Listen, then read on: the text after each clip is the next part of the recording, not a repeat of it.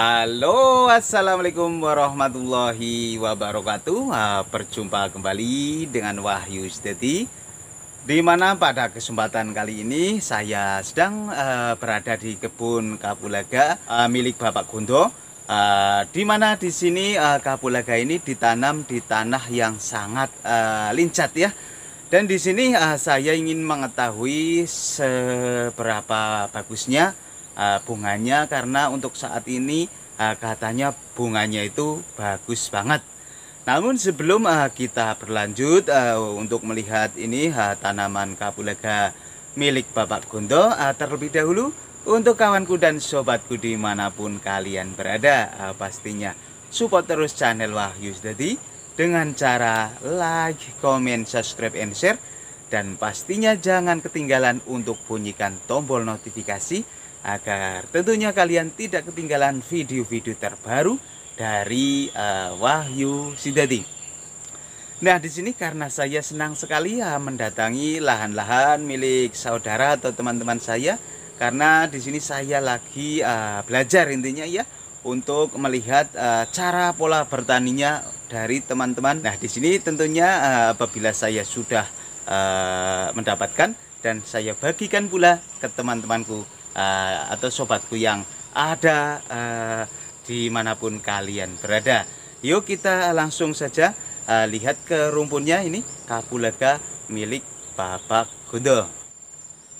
Nah seperti inilah uh, keadaan uh, kebun uh, milik Bapak Gundo, di mana daunnya memang tidak hijau-hijau banget. Namun kita akan uh, mencoba melihat uh, ke rumputnya karena uh, katanya uh, bunganya itu sangat uh, banyak. Nah, di sini karena uh, ada di tanah lincat, nah itu masih berair pula dan di sini langsung saja kita menengok ke rumputnya.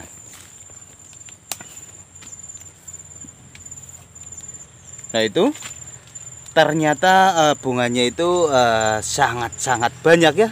Nah, itu itu tuh ternyata bunganya jos banget ini milik Bapak Kunto nah, itu itu tuh namun di sini ah, karena ini tanah lincat jadi memang bunganya itu tidak bisa panjang-panjang.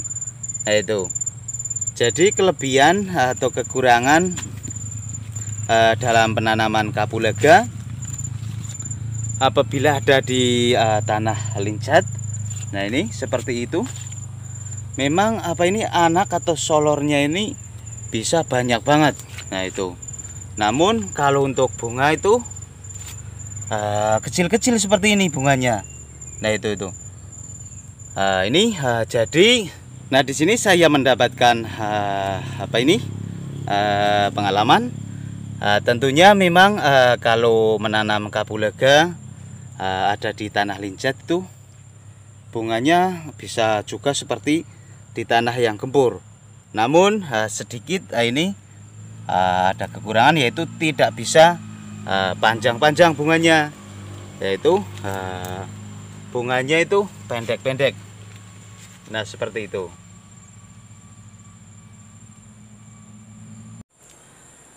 Nah jadi untuk teman-teman kesimpulannya setelah saya ini melihat-lihat kapulaga milik Bapak Gondo. Nah, di sini saya mendapatkan pengalaman yaitu intinya kalau menanam kapulaga di tanah lincat walaupun oh, bunganya itu bisa banyak namun bunganya itu ah, pendek-pendek uh, banget tidak bisa memanjang seperti uh, kapulaga yang ditanam pada kebun-kebun yang tanahnya itu gempur.